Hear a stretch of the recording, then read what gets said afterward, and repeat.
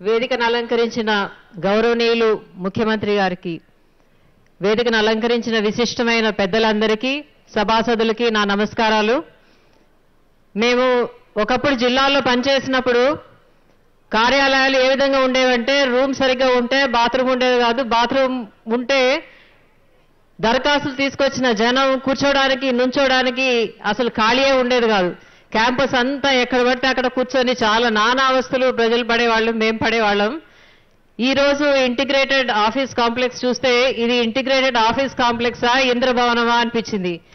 ఇది రూపొందించిన సమయంలో నేను కూడా దీనిలో భాగం భాగం పంచుకోవడం నాకు చాలా గర్వకారణంగా ఉంది.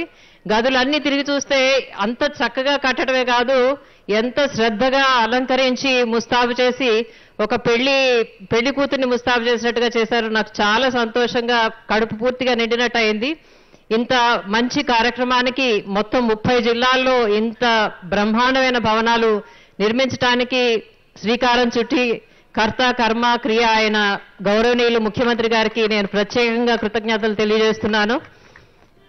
మన రాష్ట్రం ఏర్పాటు చేసినప్పుడు మన ఆదాయం కేవలం అరవై రెండు అరవై మూడు వేల కోట్లు మాత్రం ఉండేది.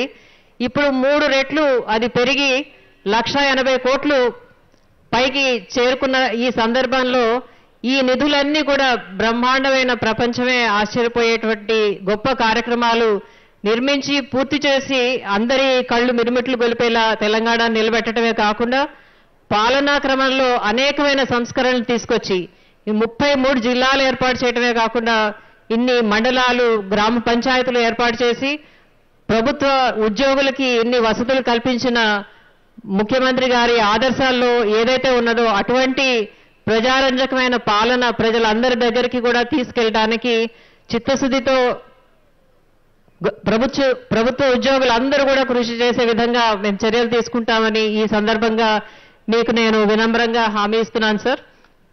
అదేవిధంగా రాబోయే కాలంలో ఏదైతే కంటి వెలుగు కార్యక్రమం మనం స- ప్రారంభించుకోబోతున్నామో ఆ కార్యక్రమంలో మరి మనసులో ఏదైతే సేవ ప్రజలందరికీ కూడా చేరు అవ్వాలని ఉన్నదో అదే విధంగా అదే క్వాలిటీ తోటి ప్రజలందరి దగ్గరికి కూడా ఈ కార్యక్రమం ఉధృతంగా తీసుకువెళ్ళి అందరికీ కూడా ఈ కార్యక్రమం ద్వారా మంచి జరిగేటట్టు కావలసిన వాళ్ళకి కళ్ళజోళ్ళు అందేటట్టు కళ్ళకు సంబంధించిన అన్ని రకాల వైద్యం కూడా అందేటట్టుగా కూడా మేము చిత్తశుద్ధితో పనిచేసి ఆ ఫలితాలు మీ ముందు వినమ్రంగా ఉంచుతామని చెప్పి మీకు మనవి చేస్తున్నాను సార్.